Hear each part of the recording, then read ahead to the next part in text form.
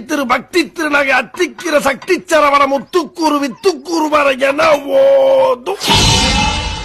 தும்.